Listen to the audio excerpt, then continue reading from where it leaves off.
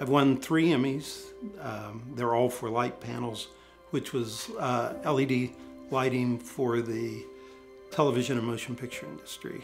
And uh, we had, we were the first. There was no, you know, if you're going to be an entrepreneur, you either have to be first or be the best, one or the other. And so we were first, and uh, so we uh, we started the company in 2004, and we won our first Emmy in 2005, and the second one in 2009, and the third one just in 2021. It doesn't hurt to have a commitment to uh, continuous improvement, even even if it's not something you think about every day. If you think about it occasionally and then try to move in that direction, I think that's important spiritually as well as in other aspects of your life. It's proof positive that that that there's a God. Um, I think one of the reasons is a lot of times I have been stumped, and I think God has given me the answers. I think that's actually really common in my life.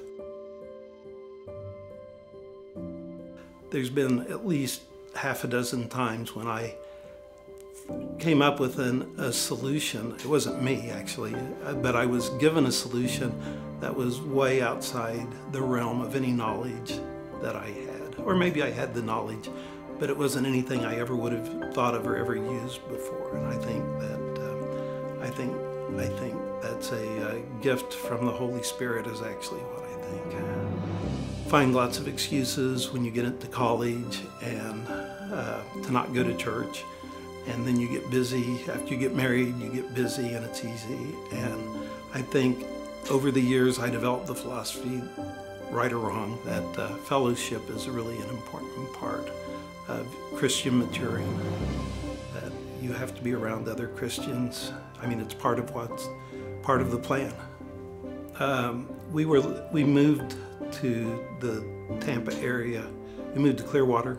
So uh, Tammy set out to find us a church that she liked. Uh, the Time Church Experience was meeting at the hotel, and Tammy thought that had a uh, certain appeal to it and was certainly creative, you know, something you don't see every day. Uh, she said she thought I would like it, so we, we attended, and uh, we thought it was fun. Uh, there's a lot of smiles here. There's something to going to a church where people smile and people want to be there, you know? That's what keeps us going to church experience.